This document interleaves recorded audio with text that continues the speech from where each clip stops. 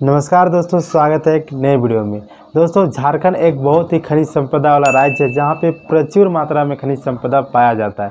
दोस्तों, आज के इस वीडियो में हम लोग झारखंड के पाँच अमीर ज़िले के बारे जानेंगे, जहाँ पे जो लोग हैं वो ज़्यादा अमीर है, प्लस वहाँ के लोग ज़्यादा रोज़गार भी पाते हैं और वहाँ के लोग अधिक संपन्न हैं।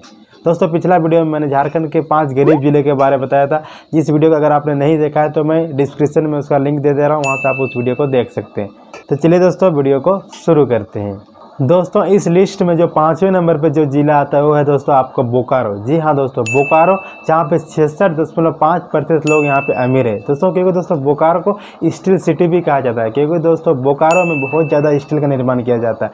दोस्तों, वहाँ पर सेल कंपनी स्थित है, सेल यानी Steel Authority of India Limited. Plus दोस्तों, वहाँ पर बहुत सारे थर्मल पावर प्लांट भी स्थित है। दोस्तों, यहाँ पर लव अयस मैंगनीज और कैला बहुत ही प्रचुर मात्रा में पाया जाता है। दोस्तों, अगर हम बोकारो में पर्यटन स्थल की बात करें तो दोस्तों, वहाँ पर गरगा डैम है तेनुघाट डैम है, जवाहरलाल नेहरू जैविक उद्यान वहाँ पर स्थित है, प्लस दोस्तों, वहाँ पर राम मंदिर और जगन्नाथ मंदिर भी स्थित है।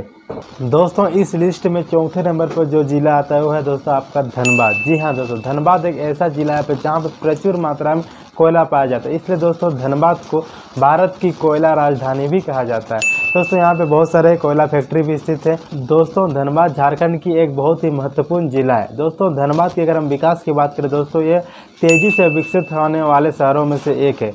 दोस्तों, यहाँ पे विद्यार्थियों के लिए बहुत ही अच्छे अच्छे शैक्षणिक संस्थान है। दोस्तों, यहाँ पे आईआईटी धनबाद भी है, जो जो विद्यार्थियों को टेक्निकल के क्षेत्र में उच्च एजुकेशन देता है। प्लस यहाँ पर दोस्तों मेडिकल के लिए भी उच्च संस्थान स्थित है।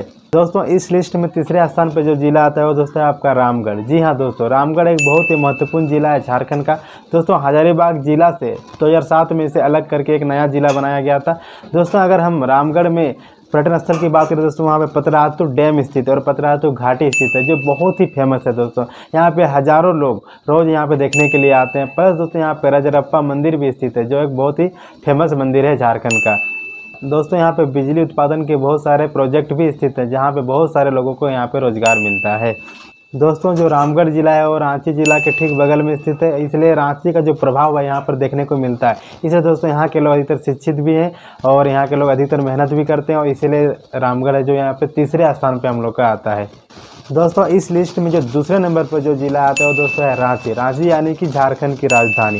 दोस्तों, प्राकृतिक का जो यहाँ पे माहौल है वो बहुत ही अच्छा है। दोस्तों, यहाँ पे बहुत सारे जलप्रपात है, बहुत सारे मंदिर है, प्लस बहुत सारे ऐसे पर्यटन स्थल है। तो दोस्तों, झारखंड का सारा राजनीतिक जो सरकार का जो काम होता है, सारा काम का संचालन रांची से ही होता है। दोस्तों रांची में बहुत सारे शैक्षणिक संस्थान भी हैं अच्छे अच्छे संस्थान स्थित हैं, यहाँ पे बहुत सारे विद्यार्थी पढ़ाई करने के लिए आते हैं और सफल भी होते हैं। दोस्तों, रांची में झारखंड का सबसे बड़ा हॉस्पिटल, जो रिम्स हॉस्पिटल भी स्थित है दोस्तों यहाँ पे जो रिम्स हॉस्पिटल जो है, रिम्स मेडिकल कॉलेज भी है और हॉस्पिटल भी है, जहाँ पे बहुत सारे विद्यार्थी पढ़ाई करने के लिए भी आते हैं और बहुत सारे लोगों का यहाँ पे इलाज भी होता है। दोस्तों, अगर हम पर्यटन स्थल की बात करें तो यहाँ पे बिरसा मुंडा जैविक उद्यान स्थित है बायोडाइवर्सिटी स्थित है, मछलीघर स्थित है, पहाड़ी मंदिर स्थित है, आपका देवड़ी मंदिर स्थित है, प्लस यहाँ पे सूर्य मंदिर भी स्थित है। और अगर हम जलप्रपातों की बात करते हैं तो दसम जलप्रपात आता है और दोस्तों, आपका आता है जोन्हा जलप्रपात। तो रांची में सत्तर दशमलव सात प्रतिशत लोग यहाँ पे अमीर हैं।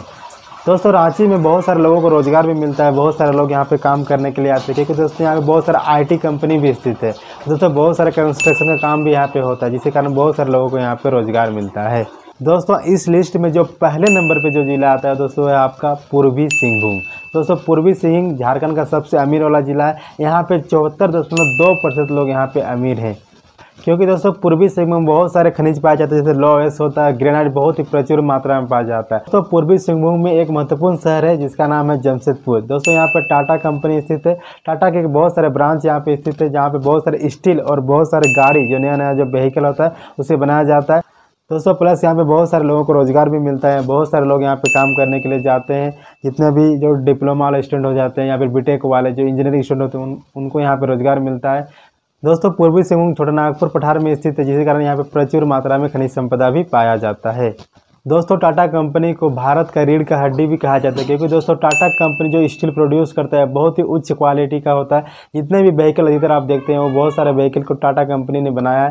दोस्तों टाटा स्टील कंपनी बहुत ही पुराना कंपनी है। मैंने इसके बारे में वीडियो बना, बनाया था कि टाटा कंपनी का इतिहास क्या है। अगर आप उस वीडियो को देखना चाहते हैं तो मैं डिस्क्रिप्शन में उस वीडियो का लिंक दे दूँगा जहाँ से आप उस वीडियो को देख सकते हैं। तो दोस्तों, आज के इस वीडियो में मैंने आपको झारखंड के पाँच अमीर ज़िले के बारे में बताया, जहाँ के लोग अमीर हैं, जहाँ के लोग ज़्यादा पैसा अर्न कर पाते हैं प्लस दोस्तों, झारखंड के विकास में बहुत ही महत्वपूर्ण योगदान निभाते हैं। तो दोस्तों, अगर आपको आज के वीडियो अच्छा लगा तो वीडियो को लाइक कीजिए, चैनल को सब्सक्राइब कीजिए, और अगर आपको इसी टॉपिक पर कुछ और वीडियो चाहिए तो वीडियो के नीचे कमेंट ज़रूर कर दीजिएगा। तो चलिए दोस्तों, मिलते हैं नेक्स्ट वीडियो में, तब तक के लिए जय हिंद, और हमारा वीडियो देखने के लिए धन्यवाद।